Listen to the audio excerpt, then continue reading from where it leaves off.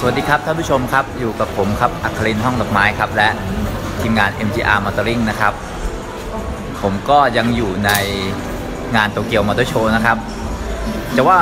งานโตเกียวมอเตอร์โชว์ก็ไม่เชิงนักนะครับ เพราะว่าตรงนี้คือบริเวณใกล้เคียงครับ เป็นฝั่งตรงข้ามของงานโตเกียวมอเตอร์โชว์นั่นเองนะครับ ซึ่งถือว่าเป็นพื้นที่จัดแสดง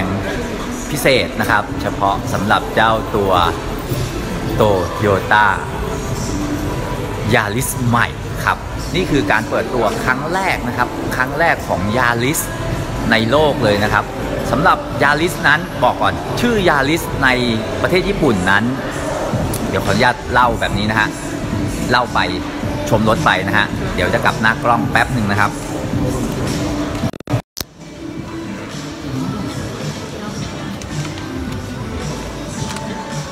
นี่นะครับ สำหรับยาริสในประเทศญี่ปุ่นนั้น จะเป็นคนละรุ่นกับ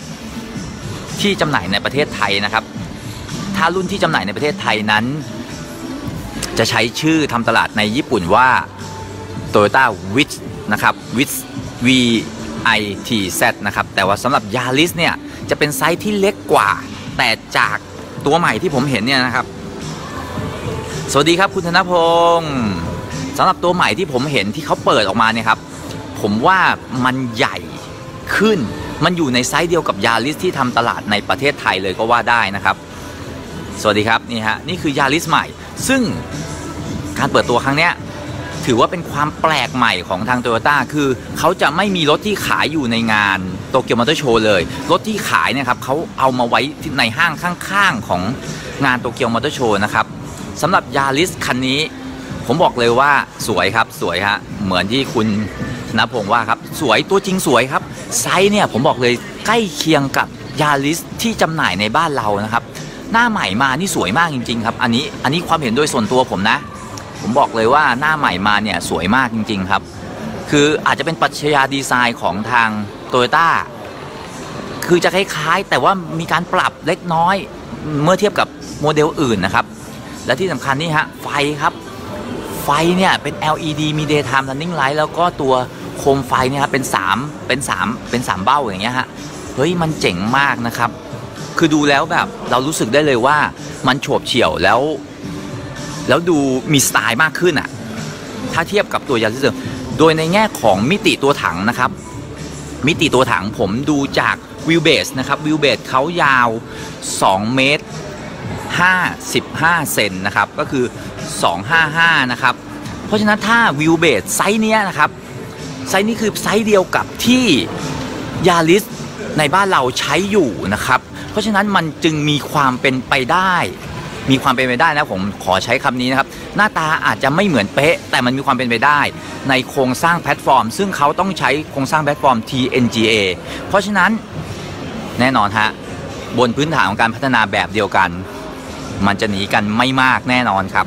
ในแง่ของการพัฒนาสำหรับตัวยาริสใหม่ที่จะ เปิดในประเทศไทย อันนี้เราอิงจากตลาดโลกนะ จากที่ญี่ปุ่นเนี่ยเปิดมาหน้าตาแบบนี้ ถ้าเข้ามาเมืองไทยจะหน้าตาแบบนี้ไหม อันนี้ยังไม่ยืนยัน แต่มันต้องใกล้เคียงเพราะว่าแพลตฟอร์มจากที่ได้อ่านรายละเอียดมานะครับ แพลตฟอร์มนั้นไซส์เดียวกันเลยนะครับ ชุดแต่งของอะไร ตัวนี้ไม่แต่งนะครับ ตัวนี้เป็นตัวเป็นตัวเป็นตัวพื้นฐานเลยครับ ไม่ได้ไม่ได้เป็นตัวแต่งตัวแต่งจะ จะยังไม่เห็นนะฮะ นี่คือตัวพื้นฐานเลยนะครับ ไฟทำให้รถดูแพงใช่ครับ โดยเฉพาะไฟท้าย ไฟท้ายก็สวยครับ คือในแง่ดีไซน์เนี่ยผมว่าเขาเขาตอบโจทย์เขาตอบโจทย์ลูกค้าที่เป็นลูกค้าคนรุ่นใหม่นะครับในส่วนของตัวยาริสเนี่ยในแง่ของเทคโนโลยีนะครับในแง่ของเทคโนโลยียาริสใหม่มากับเครื่องยนต์ไฮบริดตัวที่เปิดตัวมาเนี่ยฮะเป็นเครื่องยนต์ไฮบริด 1.5 ลิตรนะครับ แต่ว่าเป็นไฮบริดแล้วก็คันที่จำหน่าย คันที่โชว์อยู่ตรงนี้นะฮะ เป็นเครื่องไฮบริด E4 ขับเคลื่อน 4 ล้อนะครับ เครื่อง 1.5 ลิตรนะฮะ ถ้าเอาโฉมนี้มาขาย คุณท่านบอกว่าถ้าเอาโฉมนี้มาขายในบ้านเราขายดีแน่นอน ผมเห็นด้วยครับ เพราะว่าคือเห็นตัวจริงครั้งแรกเนี่ยรู้สึกได้ว่ามีสวดทรง มีลูกเล่น มีดีไซน์ เอาเป็นว่าสะเทือนครับ ผมบอกได้เลยว่าถ้า ถ้าหน้าตาแบบนี้ขายในประเทศไทยเนี่ยสะเทือนแน่นอนครับ แล้วก็อย่างคันที่เห็นนี่คือ สีฟ้าหลังคาดำนะครับนี่ฮะให้ดูกันรอบๆคันนะครับ เสียดายที่เขากั้นไม่ให้ไม่ให้ถ่ายข้างในนะครับสำหรับวันนี้นะฮะนี่ครับโอ้ยขอบคุณมากครับ แชร์เยอะๆครับ แชร์เยอะๆนี่ฮะส่วนภายในเนี่ยอะเดี๋ยว ดี๋ยวจะแอบส่องเดี๋ยวเดี๋ยวจะพยายามส่องให้ได้นะครับนี่นะฮะให้ดูดูให้ครบทุกมุมนะครับ ย้ำกันอีกครั้งตรงนี้นะครับโฉมนี้คือโฉมที่เพิ่งเปิดตัวล่าสุดที่ประเทศญี่ปุ่นนะครับ ส่วนโฉมที่จำหน่ายในจะจำหน่ายในประเทศไทยจะมาหรือไม่จะมีหน้าตาเป็นแบบนี้หรือไม่ไม่มั่นใจ แต่โครงสร้างอ่านจากสเปค โครงสร้างพื้นฐานเป็นโครงสร้างพื้นฐานที่ไซส์เดียวกับ ตัวยาริสที่จำหน่ายอยู่ในประเทศไทยนะครับ เพราะฉะนั้นในแง่ของการพัฒนาผมก็บอกได้เลยว่ามันมีความเป็นไปได้สูงมากที่จะต่อยอดที่จะใช้โมเดลเดียวกันเนี่ยไปจำหน่ายในประเทศไทยนะครับนี่นะฮะและถ้ามองในแง่ของเทคโนโลยีไฮบริดนะครับพูดง่ายๆเลยว่าเทคโนโลยีไฮบริดโตต้าเพิ่งลงทุนประกอบแบตเตอรี่ เพราะฉะนั้นมันก็ น่าจะเป็นอะไรที่สอดคล้องกันนะครับ ถ้าเขาจะทำตัวเครื่องยนต์ไฮบริดอยู่ในยาริสด้วยแบบนี้นะครับราคายังไม่เปิดนะครับ ราคายังไม่เปิดนะฮะ เพราะว่าเพิ่งเปิดตัวอย่างเป็นทางการเมื่อวานนี้นะครับ นี่นะครับ มี 2 คันนะครับ เดี๋ยวจะพา เดี๋ยวจะอ่าเดี๋ยวเดี๋ยวเดี๋ยวให้ให้ดูภายในนะครับ นี่นะครับภายในเนี่ยผมบอกเลยว่าหน้าจอใหม่นะครับวิมี Head Up Display ด้วยนะฮะนี่ท่านผู้ชมถ้าถ้าเห็นนะครับอยู่อยู่ตรงนี้แต่ออปชันนี้ก็ไม่แน่ใจว่าจะเข้าไปในประเทศไทยหรือเปล่า แต่ว่าตอนนี้มีตัว Head Up Display อยู่อยู่ตรงนี้นะฮะเป็น Head Up Display ส่วนจอข้างหน้าก็มานี่นะฮะตรงจอตรงคอนโซลกลางก็มาในสไตล์ของ t o y ต้าตัวใหม่นะครับ นี่นะครับ วงมาลัยมัลติฟังก์ชันครับนี่นะครับ ขนาดตัวถังขนาดมิติเท่าที่ดูตรงนี้ถือว่าใหญ่ถือว่าน่าจะเป็นไซส์เดียวกับยาริสในบ้านเรานะครับครับ ราคาไม่ทราบจริง ๆ ครับ ราคายังยังไม่มีการเปิดเปิดนะครับ ยังไม่เปิดราคาเพราะว่าเพิ่งจะเผยโฉมอย่างเป็นทางการให้เห็นรถคันจริงเมื่อวานนี้นะครับ เป็นครั้งแรกคือเมื่อวานนี้สำหรับเจ้าตัว Toyota Yaris นะครับ เนี่ยเนี่ยไฟท้ายก็สวย เดี๋ยวจะพาไปชมอีกคันหนึ่งเป็นคันสีแดงนะครับเดี๋ยวอีกนิดนึงฮะอ่าให้ดูให้ดูยาวๆก่อนนี่ครับ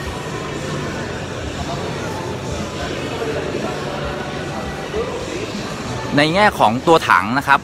ย้ำกันตรงนี้ ตัวถังเนี่ยไซส์เดียวกับยาริสบ้านเรา ฐานฐานล้อเนี่ยนะฮะ2 เมตร55 หรือ 2,550มิลลิเมตรนะครับ แต่โดยปกติแล้วยาริสที่จำหน่ายในประเทศญี่ปุ่นนั้น จะเป็นคนละรุ่นกับที่จำหน่ายในประเทศไทยนะครับย้ำไว้ตรงนี้ก่อน แต่ว่ามันก็มีความเป็นไปได้ หลังจากที่ตัวใหม่เปิดโฉมออกมาเนี่ยพอเราได้มาเห็นคันจริงแล้วเนี่ยด้วยขนาดของตัวรถเนี่ยมันเป็นไซส์เดียวกับที่จำหน่ายในบ้านเรานะครับ สวยจริงครับสวยจริง คุยกับประธานโตโยต้าญี่ปุ่นเลยครับพี่หนุ่มโอ้ยเมื่อวานเดินเมื่อวานนี้เดินสวนกันครับ กับท่านอาโยโตโยดะครับ เดินสวนกันครับ กาดเต็มเลยครับ เข้าไม่ถึงแน่นอนครับ นี่ฮะแต่สวยมากสวยมากสวยมาก นี่นะฮะเดี๋ยวพาไปดูอีกคันหนึ่งนะครับ สีแดงอะอยากดูด้านหน้า เดี๋ยวให้ชมนะครับด้านหน้า มีอีกคันหนึ่งสีแดงครับ ต้องเดินไปอีกนิดนึงครับ นี่นะฮะด้านหน้า ด้านหน้าก็จะดูยาวขึ้นนะครับ อันนี้ถ้าถามความเห็นผมนะ เมื่อเทียบกับยาริสปัจจุบันผมรู้สึกว่าหน้านั้นยาวขึ้น แล้วก็การดีไซน์ดูสวยครับ แล้วที่สำคัญคือไฟเนี่ยฮะตัวตัวดวงไฟนะครับ ดูแพงเลยฮะไฟเป็น 3 ดวงแบบนี้นะครับ ไฟเนี่ย เอาตรงๆเลยนะ คล้ายเล็กซัสมากครับ แต่ว่าย่อส่วนลงมานะฮะ แล้วก็มีเรดาร์ด้วยนะนี่ให้ดูนะครับ กล้องตรงนี้เป็นกล้องหน้ารถนะครับ แล้วก็มีมีเซ็นเซอร์ คือง่ายๆว่าถ้าถ้ามาจริงอย่างเวอร์ชั่นที่ประเทศญี่ปุ่นนั้น คือมีชุดระบบเสริมความปลอดภัยมาก็จัดว่าชุดใหญ่เลยครับ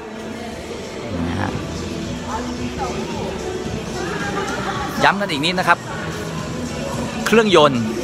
เครื่องยนต์นะครับ เครื่องยนต์คันที่ท่านเห็นอยู่นี้นะครับ เป็นเครื่องไฮบริด 1.5 ลิตรนะครับ แต่ว่าเป็นแบบ 3 สูบนะครับ เป็นเครื่องรุ่นใหม่ของทางโตโยต้านะครับ แต่ว่าสำหรับบ้านเราจะมาด้วยเวอร์ชั่นไหนแบบไหนอย่างไร อันนี้ขออนุญาตไปรอลุ้นกัน เดี๋ยวผมพาไปดูคันสีแดงอีกอีกอีกคันหนึ่งนะครับ อยู่ใกล้ๆกันตรงนี้ครับ ให้ดูว่าสีฟ้าเป็นแบบนี้แล้วนะครับ หลังคาดำแล้วเนี่ยอีกหนึ่งรุ่น อีกคันหนึ่งเป็นสีแดงนะครับ ผมโดยส่วนตัวผมว่าสีแดงสวยกว่านะครับ เมื่อเทียบกับสีฟ้า เราจึงเอาสีฟ้าไป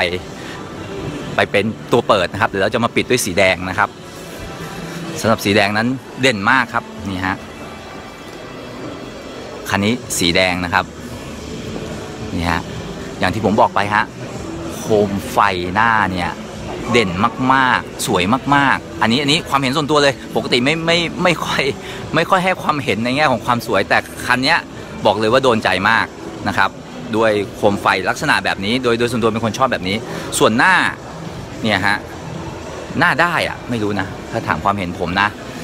หน้าแบบนี้สวยครับ แล้วก็โดยโดยขนาดมิติตัวถังอย่างที่บอกไปคือใกล้เคียงกับของเดิมฐานล้ออยู่ที่ 2,550มิลลิเมตรหรือ 2 เมตร 55 เซนนะครับ นี่ฮะ คุณชัชวีถามมาว่าไม่ขูดกับลูกระนาดใช่ไหมซอยบ้านผมลูกระนาดใหญ่มากและสแคชบ่อย เท่าที่ดูจากระยะความสูงเนี่ยนะครับ ผมก็ไม่ทราบว่าลูกระนาดของที่บ้านนั้นสูงประมาณเท่าไหร่นะครับ แต่ถ้าดูจากระยะความสูงนะฮะ สูสีครับสูสีเลยนะฮะสูสีสูสีมากๆที่ที่จะโดนลูกลูกระนาดได้นะครับนี่ฮะเพราะว่าความสูงก็ไม่ได้ตัวโดยโดยโครงสร้างตัวถังไม่ได้สูงกว่าเดิมมากมายเท่าไหร่นะครับนี่นะฮะ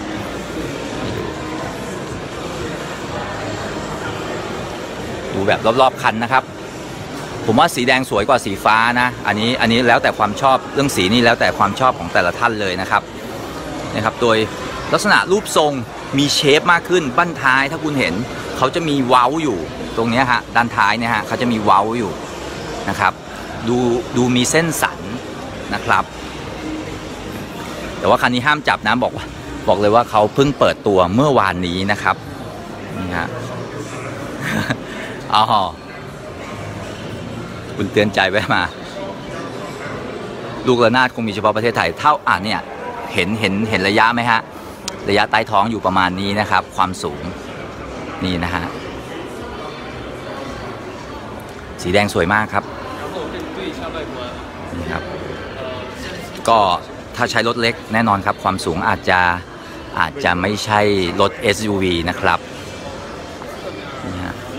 หลังคาเท่าที่เห็นนะครับ หลังคาเป็น 2 สีนะครับ เป็นสีแบบทูโทนนะฮะให้ดูนะครับ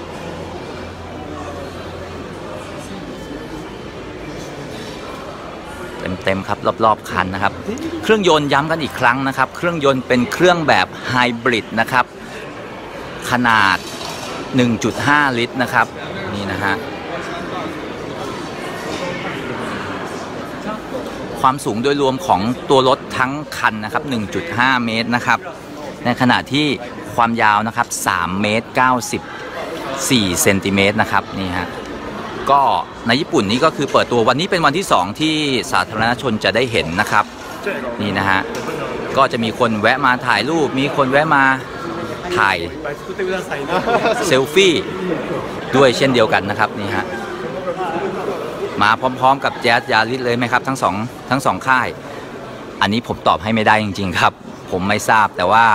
ที่ญี่ปุ่นนั้นเปิดตัวพร้อมกันนะครับ แต่ว่าที่เมืองไทยนั้น รอลุ้นฮะรอลุ้นเอาฮะภายในครับ จะพยายามส่องให้เห็น เพราะว่าคันนี้เขาไม่เปิดนะครับเขาไม่เขาไม่ให้จับนะครับ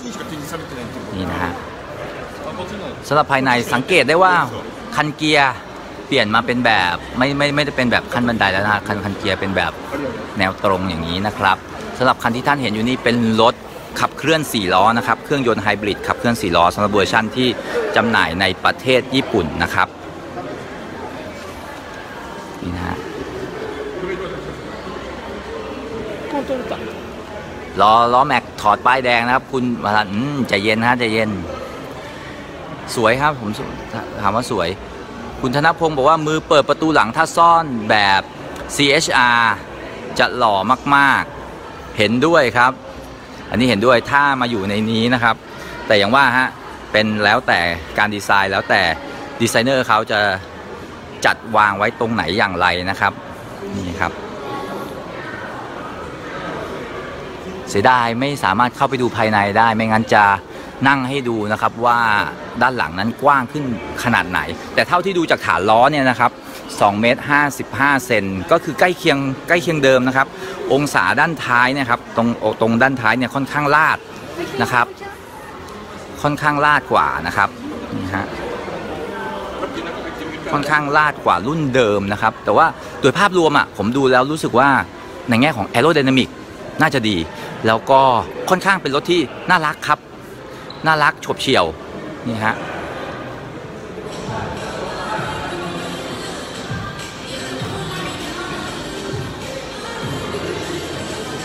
เข้าไทยไหมครับ บอกเลยว่า บอกเลยว่าไม่ทราบ แต่ถ้าให้คาดเดานะฮะให้วิเคราะห์เข้าไทยแน่นอนครับ อันเนี้ยให้วิเคราะห์นะครับ เพราะว่าโดยโดยลักษณะของปัจจุบันนี้การพัฒนารถเป็นลักษณะของ global model นะครับ ก็คือง่ายๆว่าพัฒนารถหนึ่งรุ่นทำตลาดทั่วโลกนะครับ ไม่ได้แยกตลาดอีกต่อไปแล้ว และที่สำคัญคือโดยเฉพาะในญี่ปุ่นนั้น จะค่อนข้าง ลิงก์กับประเทศไทยนิดหน่อยนะครับ อาจจะชื่อรุ่นสลับกัน แต่ตัวรถอะเป็นโมเดลเดียวกันนะครับนี่ฮะให้ดูคือภายในเนี่ยเวลาเขานำเสนอเขาก็จะนำเสนอด้วย iPad นะครับนี่ฮะนี่ฮะให้ให้ดูตรงนี้ครับ นี่ภายในแบบครบถ้วนนะครับ คือจอเนี่ยจะเป็นจอในในสไตล์เดียวกับของ Toyota Corolla แล้วนะครับ มีช่องแอร์อยู่ทางด้านใต้นี้นะครับ นี่ฮะ แล้วก็ตัวชุดควบคุมแอร์ก็จะเป็นแอร์ออโต้ทั้งหมดนะครับ นี่ฮะนี่ครับถ้าโป่งล้อใหญ่ๆ จะสวยมากครับ นี่ต้องไปทำเองอันนี้นี่ต้องต้องแอดมินเคยทดสอบขับเทสลา3ไหมครับ ยังไม่เคยนะครับเทสลาโมเดล3นะครับ ยังไม่เคยนะครับ ขอบคุณกัสมานะครับ นี่นะฮะ ก็อยากให้โป่งล้อใหญ่ ๆ อย่างนี้เหมือนกันนะครับ ชอบครับ ผมเป็นคนชอบรถสปอร์ตครับ แต่ว่าอย่างคันนี้เนี่ยฮะเขาก็จะมีเชฟอยู่เหมือนกันนี่ฮะเห็นไหมมีเส้นอยู่ตรงนี้ อยากดูด้านหน้าตรงจัดให้ครับผม เห็นไหมว่าคนมาดูตลอดเวลา คนดูเยอะมาก เป็นรถที่อย่างว่าฮะเพิ่งเปิดตัวได้วันนี้คือวันที่สองนะครับหมู่ไม้ エンジンが最近さ直4から直3になってたよ นี่นะครับ ด้านหน้าตรงนะครับ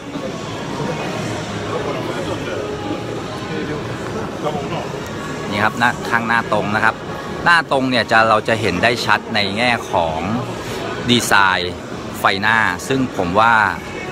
เด่นมาก ไปถ่ายมอเตอร์มอเตอร์ไซค์บ้าง มอเตอร์ไซค์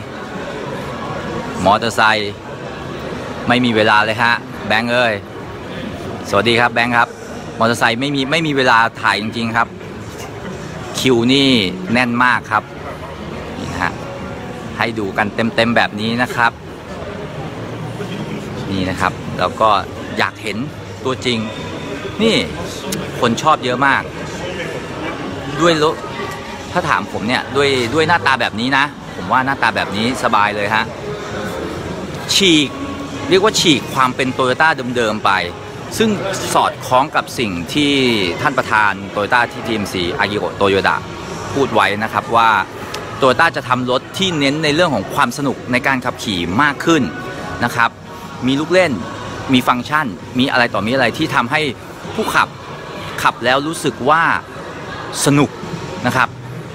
ไม่น่าเบื่อ นี่นะครับ ซึ่งปรัชญาเนี้ยมัน เห็นได้ชัดในโมเดลใหม่ ๆ ที่โตโยต้าเปิดตัวออกมา เรารู้สึกได้ว่ารถโตโยต้านั้นขับสนุกมากขึ้นกว่าเดิมนะครับ นี่ฮะ TNGA ด้วยหรือเปล่าใช่ครับ TNGA ครับ นี่นะฮะ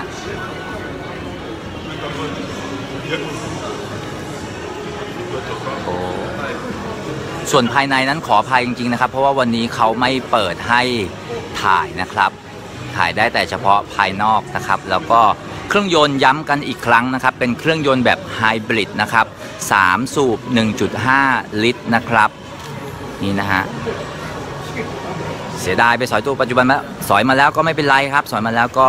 สอยไปครับ เพราะว่าโฉมนี้ก็ยังบอกได้เลยว่าเป็นเวอร์ชั่น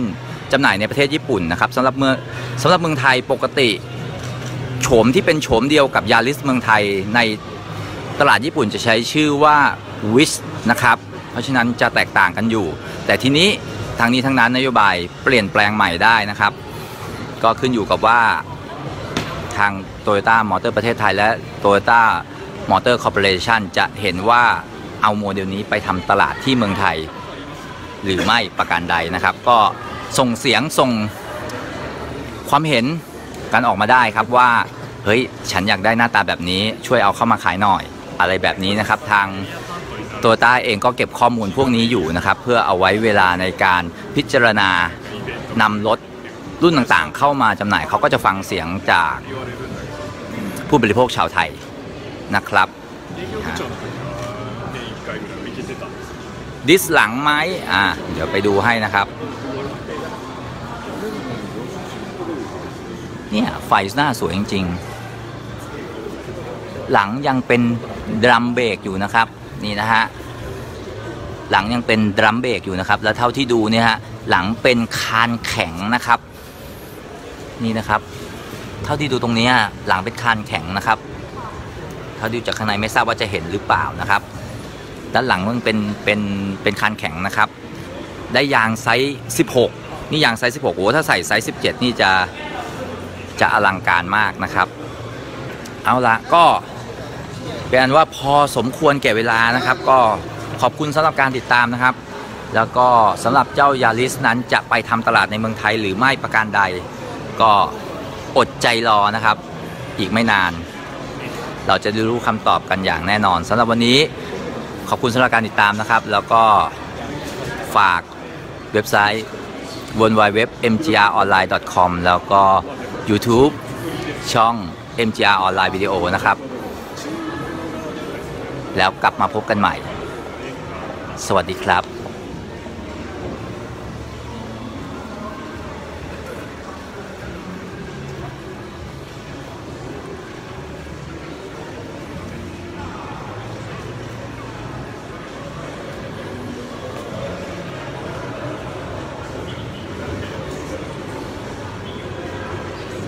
โอ้งั้นก่อนจะลาไปมีคำถามมา ตัวนี้ใช่ตัวพัฒนาต่อมาจากตัวแข่ง WRC ใช่หรือไม่ ตอบพ่อน้องจูนนะครับ ใช่ครับ คือการที่โตโยต้าไปแข่งรถนะครับ คืออันนี้ถอดจากแนวคิดที่บรรดาเหล่าวิศววศวกรแล้วก็ท่านประธานเวลาให้สัมภาษณ์นะครับ คือเขาแข่งรถเพื่อนำข้อมูลมาเป็นพื้นฐานในการพัฒนารถรุ่นใหม่ ๆ นะครับ รถรุ่นใหม่ทุกรุ่น เอาข้อมูลมาจากการที่เขาไปแข่งทั้งหลายแหล่เนี่ยเอามาเก็บแล้วก็เอามาพัฒนา เอามาสร้างเป็นรถให้พวกเราขับกันนะครับ ตรงนี้ชัดเจนใช่นะครับ เอาละลาไปจริง ๆ แล้ว สวัสดีครับ